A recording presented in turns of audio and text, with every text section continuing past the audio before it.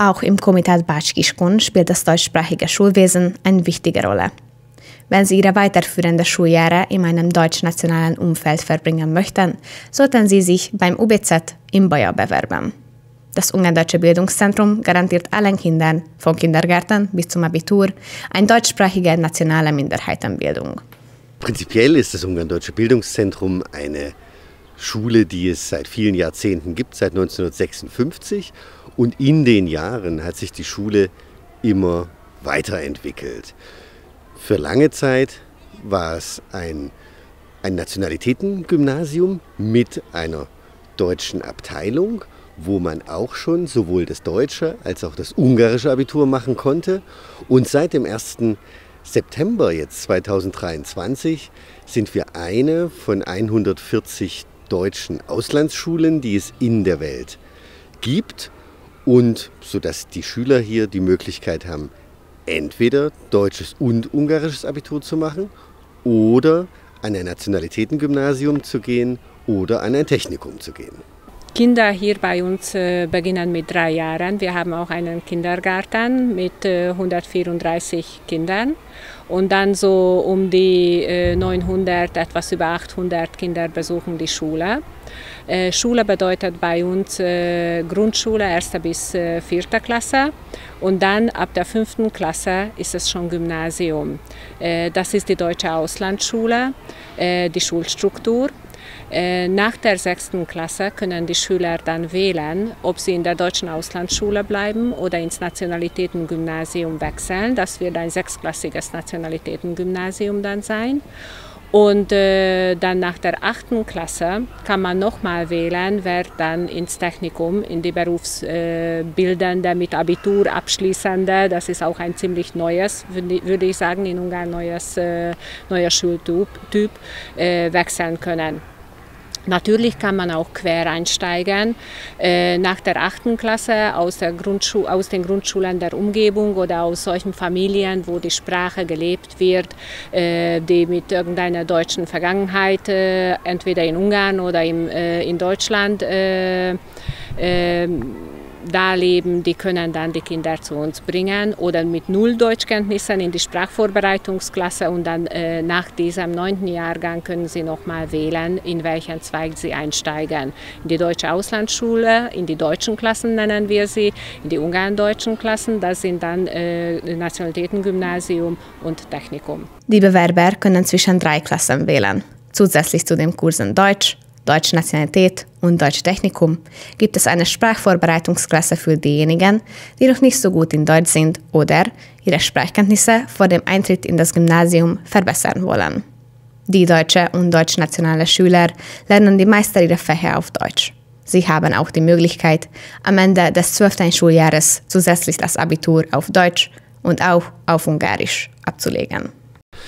Ich glaube, der größte Unterschied zwischen der, einer deutschen Auslandsschule und im Nationalitätengymnasium ist tatsächlich, dass man bei uns beide Abiture an der Auslandsschule bekommen kann. Ein Kind bekommt also am Ende der 12. Klasse ein ungarisches Abiturzeugnis und ein deutsches. Der zweite Unterschied ist, dass es an einer Auslandsschule viele Lehrkräfte gibt, die aus Deutschland hierher kommen und deshalb also als Muttersprachler unterrichten.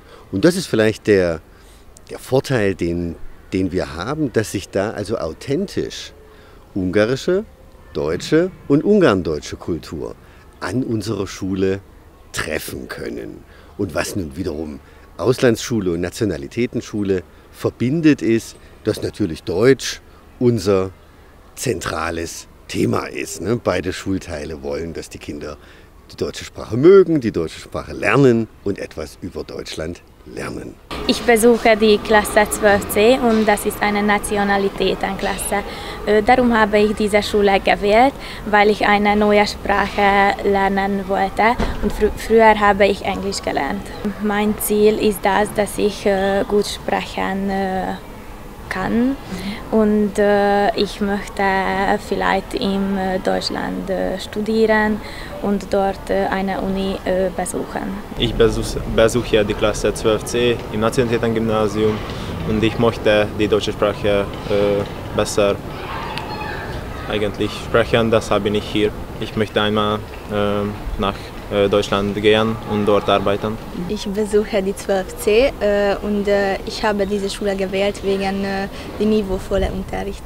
Ich möchte die Sprache später in meinem äh, Job benutzen vielleicht oder äh, ich möchte vielleicht nach Deutschland gehen.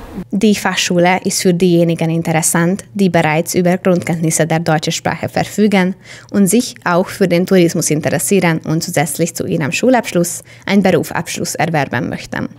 Sie lernen auch Deutsch und Englisch und haben viele Möglichkeiten, ihre Sprachkenntnisse zu verbessern, die in jedem Bereich wichtig sind. Nationalitätentechnikum äh, gibt es vielleicht im ganzen Lande nur äh, bei uns. In diesem äh, Schulteil lernen die Kinder äh, am wenigsten Deutsch. Hier lernen sie Fächer nicht mehr auf Deutsch. Äh, sie lernen deutsche Sprache äh, mit etwas Literatur und Nationalitätenkunde natürlich. Äh, daher ist es auch äh, Nationalitätenbereich, aber schon eine Stufe weniger, was Sprache angeht. Aber für sie ist es sehr, sehr wichtig, weil sie auf dem Gebiet Touristik ihre, ihren Beruf erhalten werden und äh, dann mit Deutsch und Englisch sind sie einmal gut grundausgerüstet äh, für diesen Beruf, äh, für, für den Empfang der Gäste, für die äh, Organisi Organisierung äh, der äh, Reisen, wofür sie dann hier gewappnet werden. Also das sind so die, die Themen, die sie lernen und Tourismus heutzutage ist, denke ich, eine Branche, wo man Zukunft hat, wo man solche Leute gut gebrauchen kann, die dann diese zwei Sprachen als Grundgerüst haben und darüber hinaus kann man dann noch immer mit lateinischen Sprachen weitergehen. Én a D-osztályba járok, ami egy turisztikai technikus osztály, és azért választottam ezt az iskolát, mert nagyon jó nyelvi alapokat ad, és a nyelv az úgy gondolom, hogy mindenhova szükséges. Olyan szinten van célom a néve, német nyelvvel, hogy nagyon fontos a tovább tanulás szempontjából is, és az életben bármilyen területen jól jöhet a nyelvtudás, vagy ha esetleg nem Magyarországon szeretnék maradni később, akkor, akkor ez nagyon jól, jól jön. Studenten, die weiter von der Schule entfernt wohnen und nicht jeden Tag fahren möchten, können ihre Tage in Studentenwohnheim der Schule verbringen. Das Leben im Internat hat viele Vorteile. Es werden viele Aktivitäten für die Schüler organisiert und im Laufe der Jahre entstehen starke und gute Freundschaften. Ich denke, äh, die Internat äh, ist eine Party immer. Mhm. Wir sind äh, in vierköpfigen Zimmerchen. Wir können zusammen lernen. Wir, wir können zusammen unsere Probleme sprechen, über unsere Probleme sprechen. Und wir haben sehr viele Programme im Internet. Zum Beispiel, äh, wir haben äh, am Nachmittag MC-Programme, äh, wo wir können pflegen äh, die ungardeutsche Kultur und unsere Identität. Äh, zum Beispiel, äh, wir haben Tanznachten, wir kochen zusammen zum Beispiel. Für Schüler, die sich für die deutsche Sprache und Kultur interessieren, ist es eine gute Idee, sich an eine Einrichtung mit einem hohen Niveau des Sprachunterrichts zu bewerben am Gymnasium in Baja sind auch Schüler willkommen, die sich in erster Linie auf Sprache konzentrieren und die dazugehörige Kultur erlernen und weitergeben wollen. Bei uns ist jeder herzlich willkommen. Man kann hier an verschiedenen Stellen auch ganz ohne Deutschkenntnisse anfangen. In der ersten Klasse sowieso kann jeder kommen.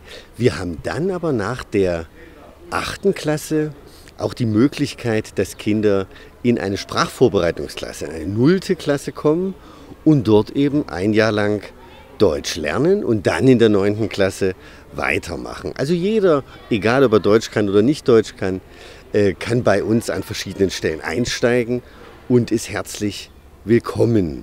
Und ich glaube, das Besondere am Ungarn-Deutschen Bildungszentrum ist eben, dass wir verschiedene Wege zum Abitur anbieten. Also man kann eben, wie gesagt, die deutsche Auslandsschule machen, deutsch-ungarisches Abitur. Man kann aber auch ins Technikum äh, gehen und dort eben ein Fachabitur machen, eine Tourismusausbildung bekommen, sodass ich glaube, wir wirklich sagen können, hier ist für jeden was dabei. Die Pflege der bunten, 300 Jahre alten Kultur der Ungardeutschen ist für die Bewahrung der Identität unerlässlich. Auch für junge Menschen ist es wichtig zu wissen, woher sie kommen und sich der Bräuche und der Geschichte ihrer Vorfahren bewusst zu sein, denn so können sie ihre Identität bekräftigen. Die Bewahrung von Traditionen und die Weitergabe von Kultur spielen auch in der Bildung eine wichtige Rolle. Ich bin davon persönlich überzeugt, wenn wir in unseren Familien uns herumschauen, äh, die stolzesten Ungarn finden irgendwelche andere Völker. Äh, bei den Ahnen, äh, wenn man zurückgeht ein bisschen in der Familiengeschichte. Und es ist dann ganz unterschiedlich, wie, man, wie weit man die Identität zu diesen äh, Ahnen hat, wie weit man äh, die eigenen Vorfahren kennt. Und das ist bei uns auch schon passiert, dass äh, ein, ein, eine Schülerin äh, in der eigenen Familie äh, die Vorfahren gefunden hatte und, und einfach die Identität aufgeblüht ist. Also, und nicht nur bei einer, es kommt äh, bei mehreren vor. Es ist natürlich für uns leichter und äh, einfacher, wenn Schüler schon mit diesen Gedanken äh, zu uns können, dann können wir äh, alles Mögliche dazu äh, anbieten und, äh, und alles Mögliche mit den Schülern erleben äh, und dann sind die Toren offen. Ähm, wenn die Toren eher zu sind, weil sie sich darüber vielleicht noch überhaupt keine Gedanken gemacht haben, aber das ist im Gymnasium diese empfindliche Phase, wo sich Kinder finden. Ich habe äh, schwäbische Vorfahren, also meine Urgroß äh, Mutter war äh, schwäbisch und äh, zu Hause wir pflegen die Traditionen. Äh, ich bin eine, eine Mitgliederin äh, der äh, Tanzgruppe und ich gehe sehr oft zu diesen traditionellen Programmen. Die Traditionen sind sehr wichtig für mich, weil, meine Groß Großeltern sind Ungardeutschen. Mhm. Wir kochen zusammen ungardeutsche Speisen zu Hause und jährlich ich gehe zu, Rezi zu Landesrezitationswettbewerb mhm. und damit pflege auch ich die Sprache und ich möchte die Sprache entwickeln. Das UBZ in Baja ist eine gute Wahl für angehende Gymnasiasten, die sich für deutsche Traditionen interessieren oder die im Komitát Bácskiskun Deutsch und Englisch auf hohem Niveau lernen wollen. Die Schule bietet eine gute Grundlage für diejenigen, die ihr Studium im Ausland fortsetzen oder bereits während der Schulzeit etwas über Tourismus und einen Beruf lernen möchten. Sie hilft auch diejenigen, die noch nicht wissen, welche Ausbildung sie machen wollen. Die Berufswahl ist eine schwierige Entscheidung, aber es ist klar, dass junge Menschen mit einer deutschen Sprachprüfung und guten Sprachkenntnissen in jedem Bereich anfangen und leichter einen Arbeitsplatz finden können.